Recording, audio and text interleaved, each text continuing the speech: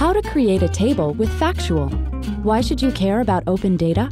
Keeping proprietary data fresh and accurate costs money and time.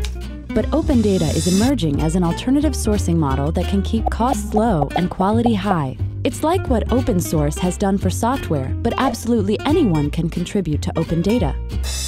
To that end, we created Factual to help people and companies manage this new web of information and make it easier to mix, mash, and share. Whether your motivation is to build cool applications or better the world, we'd love your help in starting new data projects on topics you're passionate about. Just follow a few easy steps.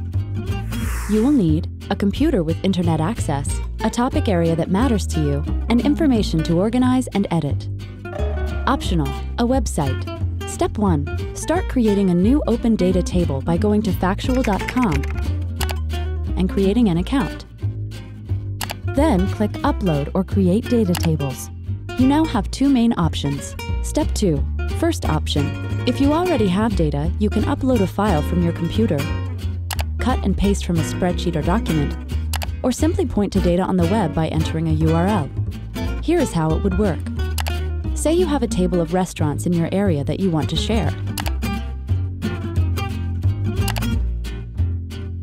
In a few clicks, your table is online and ready to be shared and sent to your friends so they can add to or correct it. Remember, Factual is a public data source. Please don't upload confidential information or other data that doesn't belong on a public website. Read Factual's terms of service for more info. Step 3. Second option. If you don't have an existing source of data, you can define an empty table by adding field names and let other people fill in the fields with information. Advanced users may also be interested in Factual's extraction tools. Step 4. Now you may want to know which of the restaurants on your list serves Chinese food and what their phone numbers are.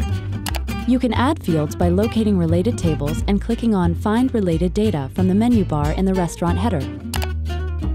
Click the Add link next to the new desired fields such as category and phone number then click the Initiate Join button. Now you see your table plus the two join fields added as new columns. To locate Chinese restaurants, you can simply search on Chinese.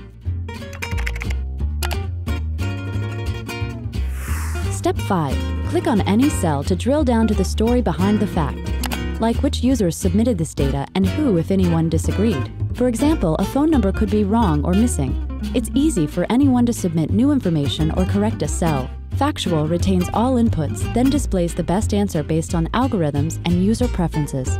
Step 6. You can share a factual table by email, by linking to the table, or embedding it on a website. Once you share the table, it's easy for anyone to enter new data. A good table can become a great public resource as more people get involved.